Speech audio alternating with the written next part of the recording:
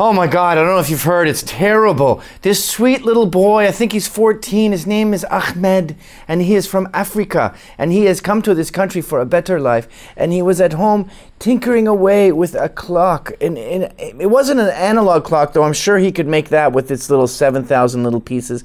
But this was an LED clock, and he sat tinkering away with ribbon wires and, and uh, 9 volt emergency batteries and AC power and, and snooze buttons and his LED screen. And he went to his school. I think he maybe had a robe on, like a Bedouin. And he said, Teacher, I have showed you this clock because I want you to be proud of the work that I do for you. And the teacher just went, God damn it, we got a terrorist here. And all the kids went, No, goddamn Muslims, I hate towelheads. And then the police kicked down the door. What's going on in here? To him, he brought a bomb to school because we all are scared of Islam and we're scared of culture and we're rednecks and America sucks. And then the cops go, get down on the ground, get down, because the cops are psycho with power. They're shooting black dudes everywhere, and they hate Muslims. And they, they put him in handcuffs. They go, you're going to jail, boy. And he's like, I just wanted to make a clock. Please, please help. I just want to learn and to become American. Shut up, boy. Shut up, you terrorist. Luckily, the sane people intervened and said, Stop. And they said, Look, he's innocent. You guys are being fascist redneck jerks. Get un- uncuff him, by the way. The whole world came together and said effusively, beautifully things like, um, You went to impress your teacher, but you ended up impressing the world and MIT invited him. You're our favorite student. You can you can come here. You can. Uh, uh, Mark Zuckerberg said, "I'd like you to intern here. Don't ever give up. Don't ever let those jerks keep you down. The world needs to be more open to Islam. Let's have more Muslim immigrants, for example." Uh, we had Hillary chiming in saying, "You're a wonderful, sweet angel. I want to kiss your ass." Um, Barack Obama literally said, "Cool clock, Ahmed." Why don't you bring it to the White House? He always has the coolest one. And that was the end of that. He's got a college fund now. Microsoft sent him, I think, $10,000 worth of digital awesomeness that he can invent. Uh, that's not what happened. It's a cool narrative if your life is a cartoon, but here in the real world, we should be a little more dubious, especially when we're at war with radical Islam, you fucking pussies. Here's the truth he did not make it. Obviously. Look at it. Look at the way it's shaped. It looks like a fucking bomb. And thank you, teacher, for being a little paranoid. In a state of war, when someone named Mohammed, especially you're about to hear about his family, when he shows up with something that looks like a bomb, ideally you don't just run, but I'd understand if you did, but call the cops, call the bomb squad, get him detained. And he wasn't arrested. Okay? He was cuffed because he was acting like an asshole and being passive aggressive because this whole thing is a hoax. It's all a prank. And what drives me nuts about it, besides the fact that the president, hey, cool clock, kid, you want to bring it down to Big Al's and I'll fucking bang on the jukebox? Hey, sit on it. No, the part that drives me nuts is that they're so stupid and lazy about it. You could just fart out a, a hoax like this and the whole world falls for it. Look how easy it is to make this stupid bomb clock.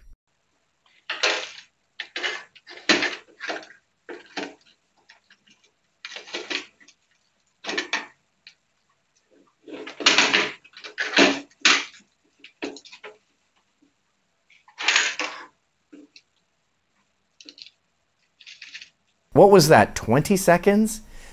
Dial it in or what, dude?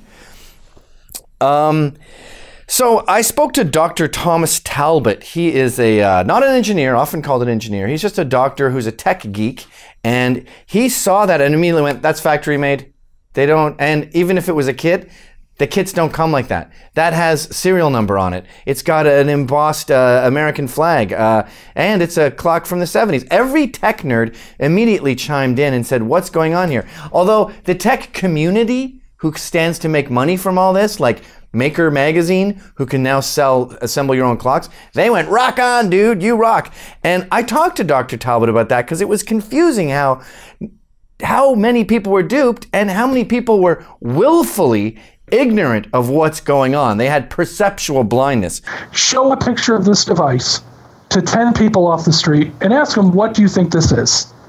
And what do you think people are going to say? Not every, you said as electronics are esoteric, but my point is make magazine, popular science, Engadget. These people are in the business of tech. Are in the business. Make magazine makes in business of people that may, is supposed to be the maker community, and they couldn't see in three seconds what this was. I did. So uh, to be uh, in in all uh, what what do you call that? Uh, uh, full disclosure. Uh, this is my second try at making this video because I saw Ezra Levant put out one at the same time, and it's so much better that I had to scrap the first one. And I highly recommend you check his out. It's pictured here. And I learned something new about the family. I already, I already knew all about the dad. I knew that he ran for president of Sudan twice, even though Sudan's a dictatorship, that's impossible. I know he writes effusive things about himself on his own website that Vox picks up and takes as fact that he's sometimes amusing and constantly baffles his uh, debate opponent. I knew, speaking of debates, that he went to a trial that Terry Jones put on where the accused was the Quran. And he drove down, Ahmed's dad drove down to defend the Quran and lost, unfortunately. They burnt it. Uh, this is after, by the way, the government told, begged him not to. That's what cowards we are. We won't even let Terry Jones burn one copy of the Quran. No! Uh, he also had a ridiculous debate with Robert Spencer, who ate him alive, as Spencers want to do. Uh, it's hard to follow, but he goes on these rambling rants where he says, "Oh, Muhammad was with a young girl, but that's not true. But it, back then, it's okay." And he's he, the guy's dumb.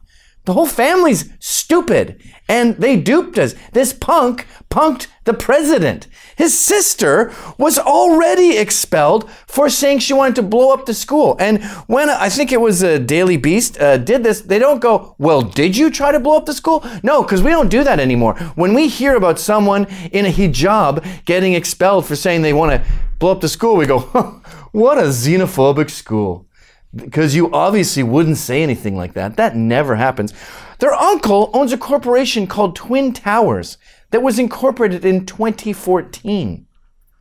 I mean, these guys don't even have to try anymore. They just dial it in. So they're suing the school despite all the presence and attention and everything that happened. I mean, this boy was stunned at how successful his prank was. He even goes, "I'm going viral." Check check him out here talking buck tooth about all the people that are following him. I've seen Mark Zuckerberg, Hillary Clinton, Barack Obama, and I am pleased that they are a part of the action and the movement. Now the problem with this is when you're lazy about a hoax, you're going to get caught, especially when you get law involved and you start suing people because people don't want to pay. So they start looking into you. Guess what, dickheads? You committed fraud. And when you accepted money for it, you created a much bigger criminal act. You see, it's only a misdemeanor to bring in something that looks like a bomb and freak everyone out, which is what he did, which is why he was detained. Not sure why he was let go. Still haven't figured that out, cops. You should have been harsher.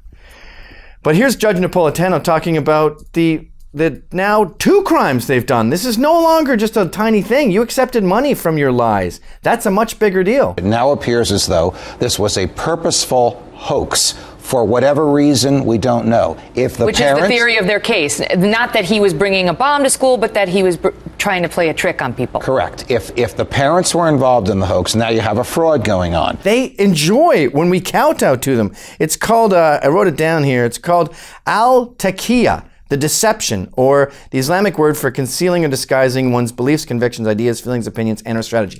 This pranking, this lying, is an integral part of jihad. So when you lie down before Islam and say, I'm sorry, I'm sorry, they don't go, okay, that was pretty reasonable. We're even now. They're not reasonable people. It's not a reasonable religion. When you lie down and kowtow, they get empowered. So we have to we have to screw our heads on We're losing our heads here, figuratively and literally. Let's get some common sense. Let's get some courage and stand up to radical Islam. I'm not scared of Islamophobia. I'm scared of Islamophobia phobia.